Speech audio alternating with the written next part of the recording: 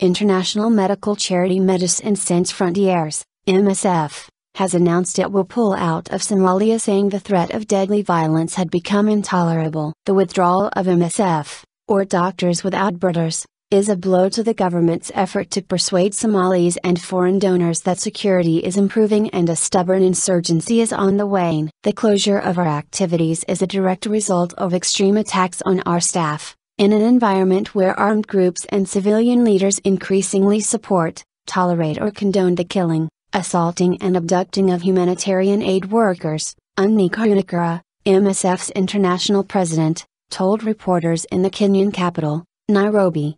On Wednesday, 16 MSF staff members have been killed in Somalia since 1991 when civil war erupted, but the charity stayed on, negotiating with fighter groups and resorting to hiring armed guards, something it does not do in any other country. But we have reached our limit, Karunakara said, fighting back tears, hundreds of thousands deprived. Within hours of the announcement, Al Qaeda linked Al Shabaab fighters raided one MSF hospital in southern Somalia, forcing patients out before ransacking it. They have ordered the patients in the hospital out and taken computers, hospital beds, and other valuable equipment. Ibrahim Mohamed Adan, district commissioner of the town of Diinsor in southern Somalia's Bay region, told Reuters, We have reached our limit. Unni Karunakara, international president, Médecins Sans Frontières. MSF's departure will deprive hundreds of thousands of Somalis of medical help, Karunakara acknowledged. MSF treated about 300,000 Somalis in the first half of 2013. Dozens of foreign MSF staff had pulled out of Somalia in past weeks,